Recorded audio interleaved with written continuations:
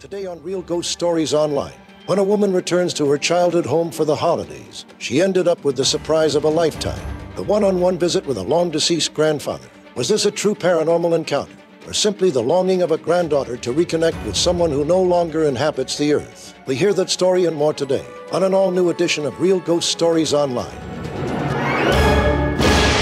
Welcome to Real Ghost Stories Online.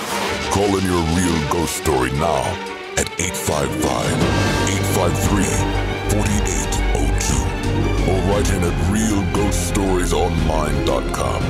You are about to enter the world of the unknown and quite possibly the undead. This is Real Ghost Stories Online. That indeed it is. 855 853 4802 is our phone number at Real Ghost Stories Online to share your real ghost stories with us. We'd love to hear them. Of course, you can write in at realghoststoriesonline.com. And if you like the show, help keep us on the air, become an extra podcast person, and EPP, sign up at ghostpodcast.com or patreon.com slash real ghost stories. Get access to all the bonus episodes, advance episodes, and more. It's Tony and Carol Hughes with you on today's episode. What's going on? Friend, how are you doing, Tony? Just having my uh, my yearly uh, voice failure uh, episode where um, I yeah, have to. last uh, week you were kind of bad, and then this week you're not any better. yeah, And it's not COVID either. it's not. I was going to say I think Robert Stack's emulated voice sounds better than mine. when we played it on the last episode, me, and I'm like Robert sounds a little more natural. I mean, I would offer to read stories, but why when you have him? Exactly. Yeah, let's have I mean, Robert. he sounds awesome. I was thinking when he was reading that intro, like, like when if he was alive, that would cost you a lot of money Would to, to pay to pay. Robert. Yeah. Now we just have virtual Robert that uh, likes to show up uh, Uh-huh. and say, "Hey." I, uh, I I'm I'm very excited about that technology and, and playing with it more this it. next year because there's a lot of other interesting voices I think we'll have uh, pop up. It's interesting to have them like and have conversations with each other too. That's um, another fun yeah, element. that's funny. Because you did that one night, not on the show, yes, just for my benefit only, because it was not anything for. It was not airable, but it was one of the funniest damn things ever. it was. It was too nasty. I don't even remember what it was about, but I just I remember don't it, either. it was I like, just remember it was oh like, my god, yeah. yeah, you can't hear that. Like I can't imagine Casey Kasem saying these things, but now I'll never get them out of my head. but uh, good times. But uh, 855-853-4802, our phone number at Real Ghost Stories Online. We're going to kick off the show with a caller. Hi, you are on the air. Hey guys, you guys are awesome. I love your podcast. I've been binge listening. I recommend you guys to everyone. So let me begin with my name is Brenda. I am from Tulare, California, and I believe me and my whole family are very spiritually sensitive. My sensitivity started before I was born. I know that sounds kind of crazy, but let me start with as a little girl, I used to love, well, I still do. I love asking my parents to tell me stories of uh, when they were growing up in Mexico and how they came over here, how they met, you know, everything. I, I loved hearing their stories. And keep in mind that I will be jumping a little around, but it'll all make sense at the end.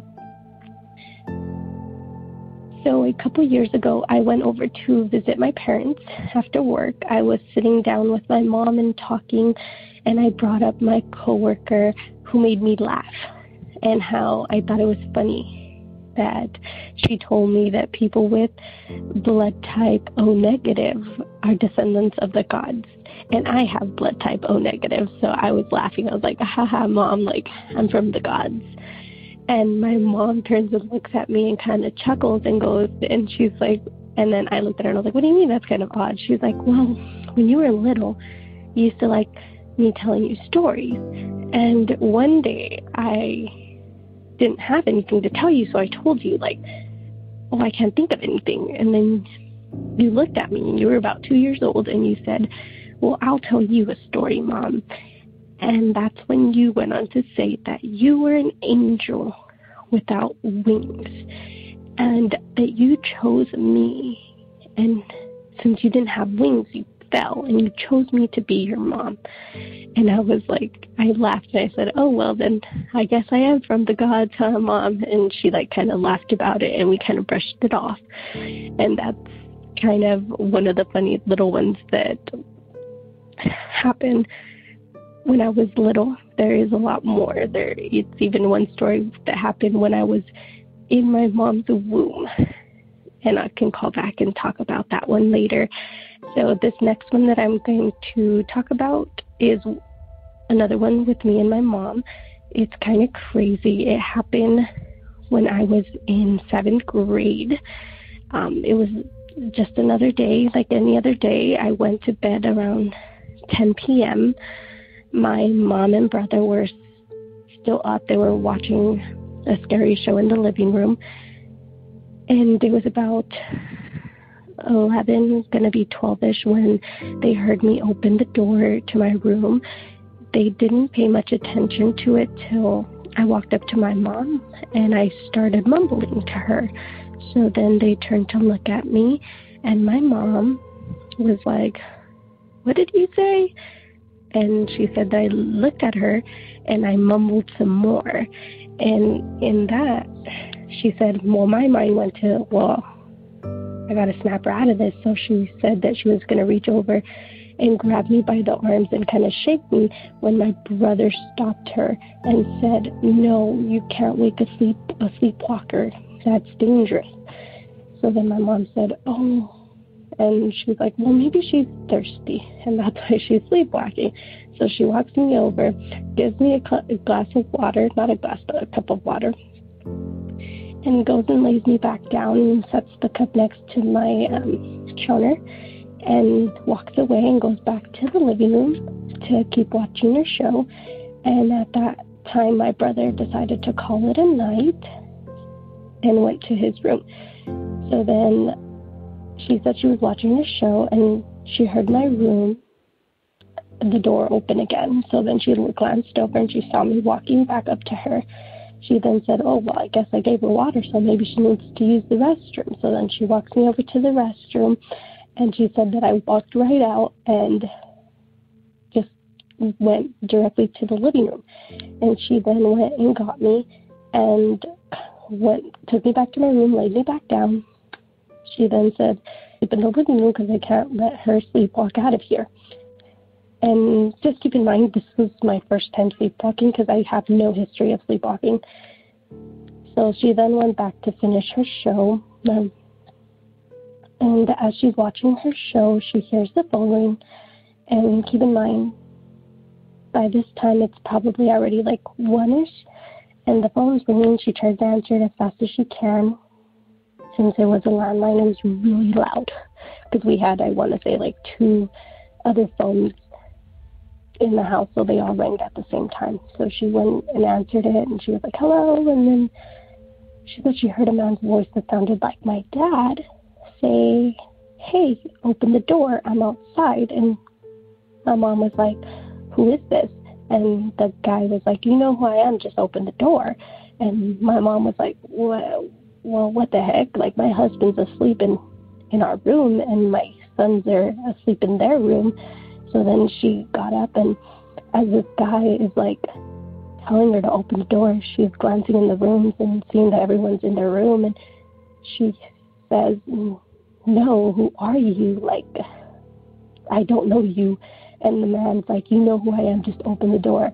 And as he says that, my brother had gotten woken up when she glanced in his room and heard her talking. So he heard the man's voice and got the phone away from my mom sorry, got took the phone away from my mom. And um, the man was like, open the door and starts laughing.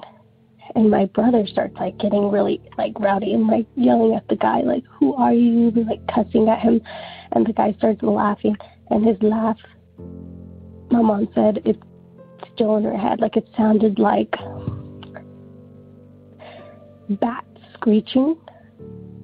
And my brother was like, what the heck? And so my brother was like just lit up angry, gonna open the door to try to fight. Apparently, this man And in that, my mom snaps out of it and like slams her body against the door before he could open it, looks at my brother and says, You're to let him in.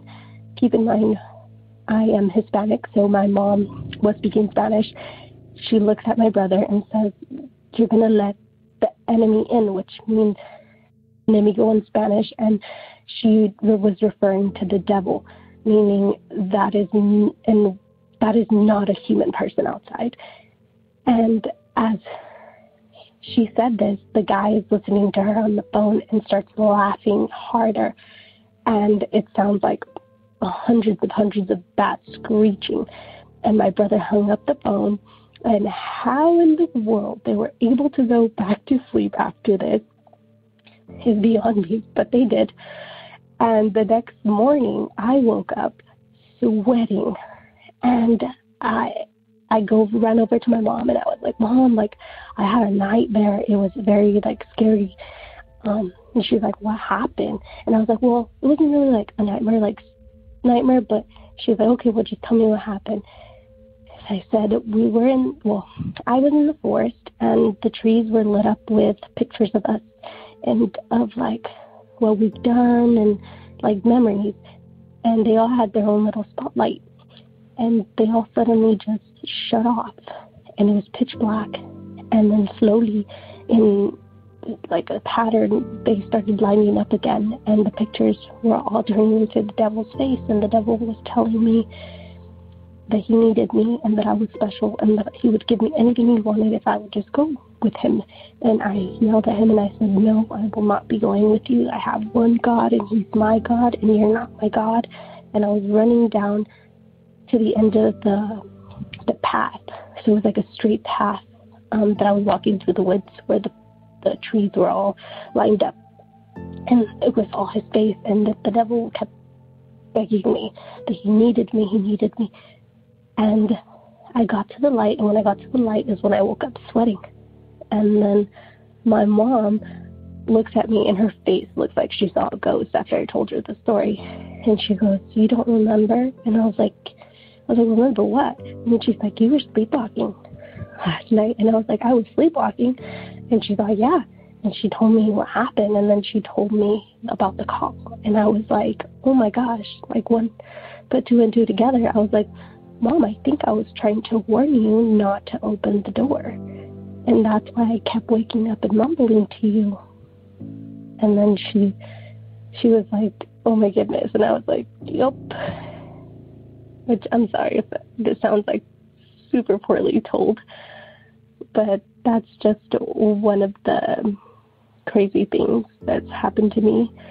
Again, I said I have like millions of stories, like so, so many that it would take days upon days upon days to tell you everything because I am very, very, very spiritually sensitive. Um, but those are just two of the really one really kind of funny and cute, and the last one that I just told, that one's kind of, it's still kind of crazy to me to think that I, I never sleepwalked. And I sleepwalked the day that my mom gets this crazy call. And just the fact that at the end, she even said it herself that she she knew that that was some, well, in her words, the devil outside the enemy. And I, she's like, you were trying to warn me not to open the door. So crazy. Well, I can call back with more stories if you. Um, thank you guys, and I love your podcast. Thank you for sharing that story with us. It's always comforting when mom's like, "That's the devil outside, honey." Yeah, no big deal. Yeah. I had kind of a little hard time following that story. Mm-hmm. Um, I just thought it was creepy AF that the phone would ring and there's some guy on the phone saying, "Open the door, I'm right outside." like that like that's creepy stuff. Yeah.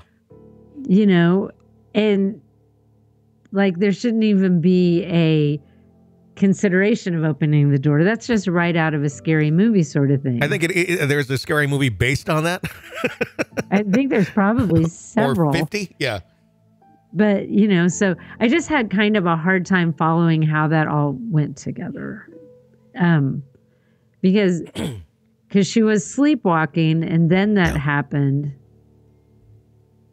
And that and she there was a warning in there? I, am mm-hmm. sorry. I think kind of it, it was it was the correlation of getting that call that experience and then her sleepwalking that exact same night. Like why did the these two rather random spooky See, and I scary don't things find happen? that surprising like because sleepwalking's weird sure and sleepwalking really if you've ever been around anyone you're not the sleepwalker it's kind of spooky yeah to see somebody sleepwalking. So I think I don't think sleepwalking itself is that unusual, but it's spooky. It is because like it's like they're in like it's I don't know. It's like they're possessed or something. Mm-hmm because they're doing things and they're in like this zombie kind of state. Sure. So yeah, that's creepy in itself. And then to get a phone call, mm-hmm. you know, the about the same time all that's creepy. It is. Super creepy. It now, is. do I think it was dem- you know, the devil outside, or would I be saying that to my kids? Yeah. I don't know. Maybe if I, you know, was scared shitless and that came out, then it would have come out. Uh, yeah, I mean, I, I, think it's just one of those. You know, I, I think "devil" almost probably uh, is a catch-all phrase, or maybe not. It's like not Satan himself hanging out outside, but something dark, something evil. And I think they were Hispanic and, you know, and probably very, very, very Catholic. That's just a guess. And so I could see mm-hmm. mom saying something like that. Yeah, I've heard that like, exact same phrase uh, from, you know, the elders and such where someone's in that situation and it's, you know, someone who, who grew up, uh, you know, and and were told these things and, and heard these stories and had, you know, somewhat similar things happen in childhood. You you're referencing, you know, what you know. And all that happened like I think she says like one in the morning when the phone rang or something like that. Like it was really late. Yeah. So yeah, that's a very freaky combination of things. Mm-hmm. And who knows, you know, the caller, the sleep, was it all connected? I don't know. Yeah. Hard to say. But you know, listening to the story, she said she has zillions of experiences. I'd love to hear more. So my guess is, you know, I don't know, because if she's not, you know, she's um has very active um, interactions with the paranormal, mm-hmm. then that's different. Yeah, yeah. The that, creepy, creepy story. It is. Thank you for sharing that with us. Uh, 855 853 4802 is our phone number at Real Ghost Stories Online. Let's go to a letter. It says, My story is based in Finland, where I grew up. I was brought up by my granddad, whom I lived with until I was eight years old. From then on, I moved to live with my aunt, her husband, and kids, house next door. I remained close with my granddad until he died, and even moved back to live with him in my teens for a year. When I broke up with my first boyfriend, whom I lived with, and couldn't go back to my aunt's house after the breakup. My granddad died when I was 21, a few months after I moved to London. The story takes place during one of my visits to the family house during the Christmas after his death. I was lying in bed trying to fall asleep. in my old room. The door was open to the hallway, and everyone else had been asleep for a while already. The whole house was dark with all the lights switched off, but the outside lamp and the front porch had been left on. As my room's window was facing the front porch, the light shone right through the slightly cracked open curtains, straight into the bed and on my face, which was positioned opposite the window at the other end of the room. I was tired, kept shuffling, trying to find the best position to fall asleep, but the light bothered me. Even when turning my face towards the wall, I kept debating in my head whether I should walk across the hallway to the front door or shut off the light or get up and close the curtains. But it was too cold and I was too cozy in my bed to get out. I wished that the light would switch itself off or the bulb to burn out so I would be able to fall asleep without having to do anything. Suddenly, it did. It freaked me out at first. I didn't hear anyone walking across the hallway to switch it off. Remember, my room's door was open, so I wouldn't have heard anyone walking in the hallway. Also, I didn't see or hear anyone switching it off from the outside, as I had direct view through the window to the porch and the lamp from my bed. Lamp wasn't one of those automatic outdoor lights that switches itself off, but had two manual light switches one inside the hallway, the other outside on the porch next to the front door. After a while, I figured the bulb must have just burned out. That was the only explanation for the lamp to switch off. Next morning at the breakfast table, told my stepdad that the porch light bulb would need to be replaced as it burnt out during the night. He went to the porch to press the light switch to test the bulb, and it came back telling me, Bulb's fine. Just switched it on. It's working okay. Asked if anyone had switched the light off during the night, but no one fessed up and simply said they were all fast asleep all night. During another night, same room, same setup, had left the room door open to the hallway.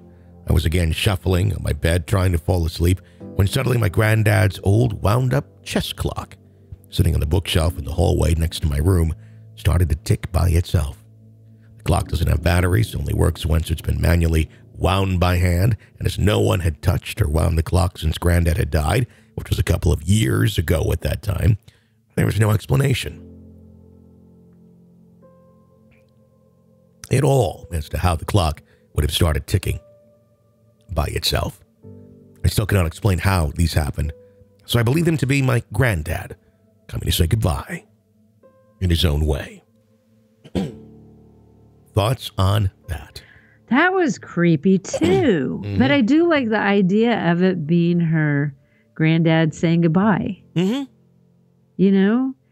Because it would be scary, but maybe at that time you also felt that feeling and that love, and maybe it wasn't scary. Mm-hmm. I mean, that's and, and like those are, as you well know, those are the stories that just really get me. Mm-hmm. I just love stories like that because what I mean, it's one of those things. Like, is that a coincidence that happened, or the devil, or the devil, or Grandpa? I mean, it's those three. Yeah, you gotta like check a box. I'm going with Grandpa. I'm going with Grandpa possessed by the devil.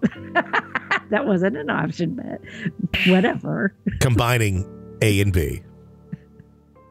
Okay, I didn't give you any rules, so I guess you can. Grandpa's back. He starts out real nice, just offering you a Werther's original on the porch as you watch the sunrise over the meadows. Original. It's like, mm, thank you, Grandpa, for this Werther's original. And then suddenly, no read them unless you're around.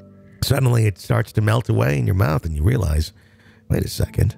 There's something inside this Werther's original.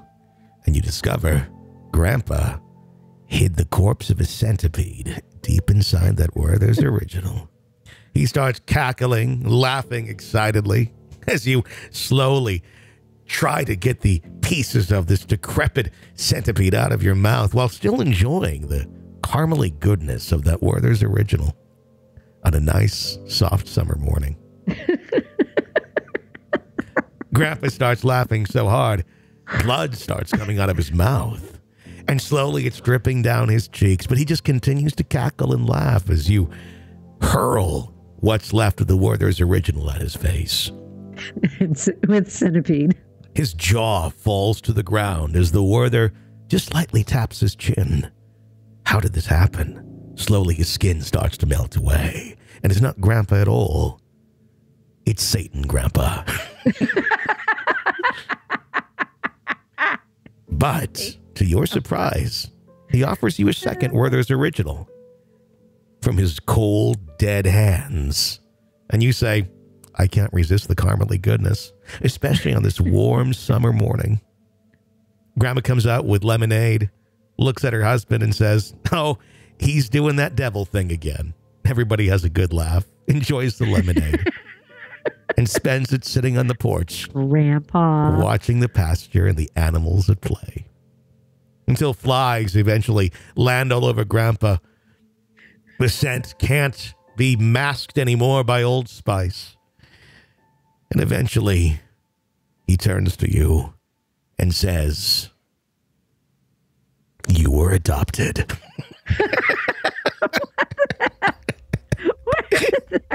I don't know. I didn't see that one coming at all. but he still has a big bag of Werther's original. And you have another one and go, that's okay. I never cared anyhow. oh, that was funny. That's uh there's the setting for a new war. There's that. I just never know where your brain's gonna go. I, I didn't know where that don't. was going either. I just kind of just kind of kept going with it. Let's uh let's go to a caller. Hi, it's your ghost story. Hi Tony, my name's Skyler. Um, I was calling in to talk about some experiences that I've had. Um, the first one was when I was 16. Um, I was staying the night at my grandparents' house, and I'm a very lucid sleeper. And for those um, listeners who don't know what lucid sleeping is, it's where you're completely conscious in a dreaming state, so you have complete control over your body and your thoughts. Um, and so I know that I wasn't having a nightmare. I don't remember what I was dreaming about this night, but I know that it wasn't a nightmare. Um, but I'm in my grandma's spare bedroom, and my grandma's on a respirator, she and uh, I was. I remember going to bed and waking up in the middle of the night in a complete panic state. Like I'm trying to get out of my sheets and blankets, and I feel like I'm on fire, but at the same time I'm not sweating. I'm completely cold. I don't know what's going on. And the only thing going through my head, it's like a broken record playing in my head, is I gotta save her, I gotta save her. And, you know, at a certain point, I couldn't move my body at all. And I'm sitting there thinking, I've got to save her, and I'm breathing heavy and I'm freaking out. And once I finally break that not being able to move, it feels like my body's made of lead. And I very weakly sit up in my bed and stand up and I shuffle to the door because my legs are so heavy that I can barely move them. And as soon as, and the entire time I hear in my head, I need Saver, I need Saver. And I break through the threshold of the door of the room and I'm fine. I could breathe again, my thoughts were my own. I no longer feel hot and I peek in my grandma's room and she's sleeping peacefully as can be. And deep down, I don't know what happened, but I think something was in my grandma's house and it had control over my body. I wouldn't quite call it possession, but I believe that something had control of my body that wasn't me. And uh, skip forward a few years, I'm and I work in a hospital. It's now a clinic. It used to be a hospital, the morgue, an operating, uh, an OR, and everything. And I'm sitting there on duty one night, like 11 o'clock, just me, and we have two sets of sliding doors coming into the clinic about four or five feet apart. And just the inside doors open out of nowhere. And I can't explain it, don't know why. Let's skip forward another couple weeks, and I'm doing my rounds on the second floor. I'm on duty again, late at night, and I hear what sounds like something knocking on something with a claw hammer. And I stop at the top of the stairs, and I backtrack three or four feet, and I hear it again. It stops, actually. And then I start going back down the stairs, and I hear it again. Something's beating on something with a hammer, and I start doing another round, and I don't know what it is, but I keep hearing it throughout the clinic. Each time, it sounds like it's right next to me, but I'm in different parts of the clinic. And then I go back to the barracks, and I'm sitting there alone in the barracks. And it sounds like there's somebody talking out in the hallway. Now, these are very heavy doors. So if someone opened the door and shut it and went inside their room, you would hear it. But I hear someone talking in the hallway to a couple people, and I open the door and I look down the hallway, and there's nobody. And I shut the door, and I wait a few minutes, and I hear someone talking, and I open the door, and there's nothing. Nothing out there. And I asked a couple people, and I've had people tell me that they've been bruised in their sleep from being grabbed. I've heard people say that they were in the clinic and they've heard doorknob, doorknobs jiggling while they were there by themselves. People have heard voices in the clinic um, that they thought was me on duty downstairs talking to somebody, and they come down and there's nobody there but me and them. But they very distinctly heard uh, people having a conversation. So I don't know what's going on um, here at this base, but I believe that there are a few haunted spots at this base. And I don't know what happened at my grandma's house, but something definitely had control of my body that wasn't. Um, thanks for taking the time. And if I hear this message on uh, future podcasts. Um, I would appreciate hearing what you think.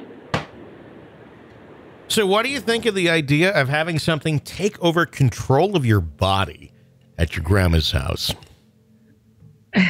Well, I don't really like the idea of that happening. At your grandma's But I- house or just in general? Just in general. Okay. I, it's just not a good thing. Okay. At your grandma's house, it'd be really weird. Um, I don't know. I've had dreams before where I felt like, you know, there's something attacking me, Mm-hmm.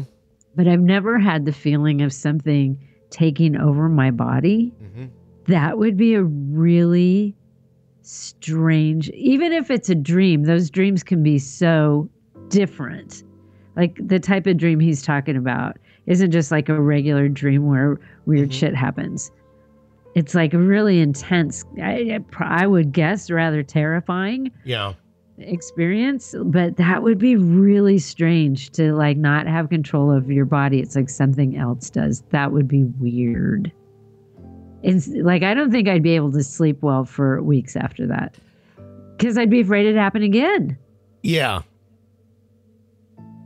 I, I, I Very strange. I, I, yeah, I, it, it's, I guess, you know, somewhat comparable to the situations when people are in sleep paralysis and it's like you can't, you have no control. Maybe it's not necessarily moving you, but you're also not moving. Um, but I would think it'd yeah, be it's even, like you're yeah. frozen. it'd be even scarier if you are in a situation where it feels like it is moving you, but you're not the one doing, um, you know, the moving. Like that's new. I have never really thought of that experience before, and I don't want that to ever happen to me because I I would not like that. I think it's, it's a comforting um, thought as you're going to bed. You know, Oh yeah, Just like this is this the night that something's going to take over my body? Mhm. That would be awesome. there is an antidote though. There's a huge antidote though, for this. I don't know if you're aware of it, uh, but if you ever do feel something like that taking over your body, you have to ask it to release you, release me. And I that, asked Wilson Phillips to ask them. that's done simply by turning Wilson on. Phillips could ask Yes. them for me That's all you to gotta do. release me. You turn on some Wilson Phillips and you ask the spirit to release you. And the power of Wilson Phillips harmonies will release you. Because Look at those like spirits go away. Oh, the demons, the their demons are spirit Would be like, whoa, whoa, whoa! Listen to that. Wouldn't it be great Those to like, harmonies are so tight. oh my God, here's a great idea. We should have like a tent revival and we'll pretend we're preachers and we'll hire Wilson Phillips and they'll just be singing Release Me in the background over and over as we exorcise demons out of people. Wouldn't that be great? Who's up next? Come here. Come to the stage. Okay. Hands in the air. Really? Did you really just think of that? Oh my God. are going to take it on the road with a Oh. revival. Spirit's gone. Da-da-da. Da-da-da-da-da. Where's the steaks? We got some of those at Petco earlier. Bring the steaks out. Yes. That little uh, garden snake there. Yeah. Woo.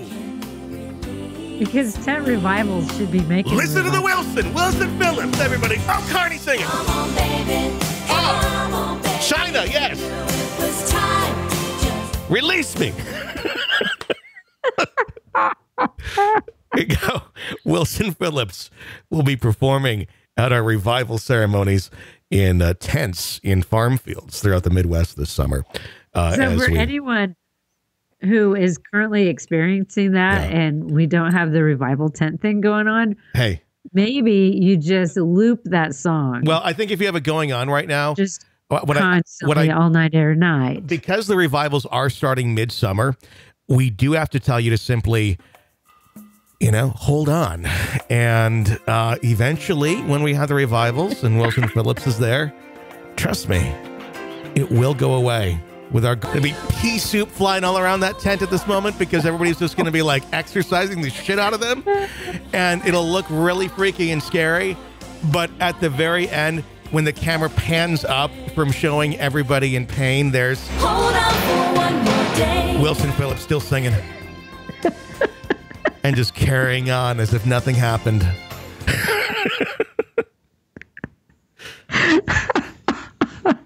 we have some planning to do. we can't forget to bring the pea soup. That will be a very good prop. It will be. It's really it's going to sell it. You need the pea soup, otherwise you're going to be like, eh. Get those big industrial ones so you can get it Sam's. I tell you, every time I see pea soup, I think of Linda Blair because No? she came to the radio station one time and that's what she was signing was cans of pea soup. Are you serious? Dead serious. Whoever was on there at that time was having her sign cans of pea soup. Oh, Yeah, and why why didn't I get one? I was there. She was like my size. She's tiny little. I mean, Yeah. like I'm only five foot two, yeah. but she was just a tiny little thing.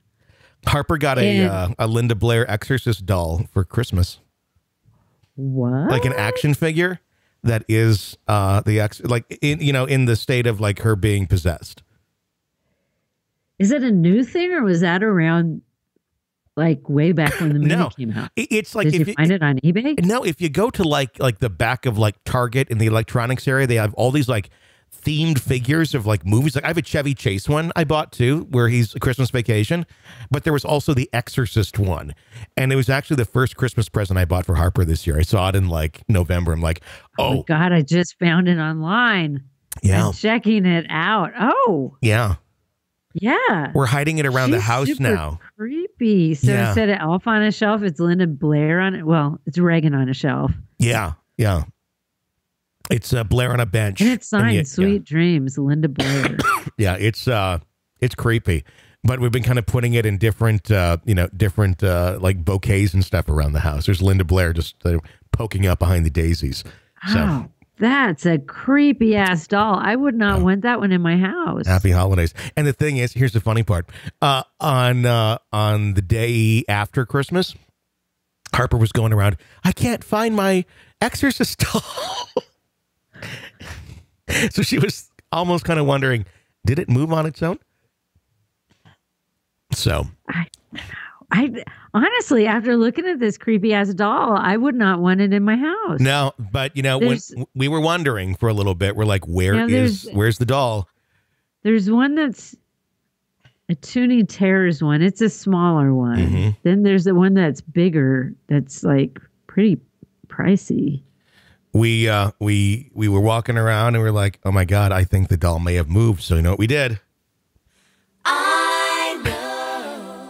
Turn on Wilson Phillips a and saged the house listening to Please Wilson. just bring the please just bring the doll back. and suddenly it just fell from the Please, ceiling. Wilson Phillips. There it was. It was like, all right, Wilson Phillips exercised our house.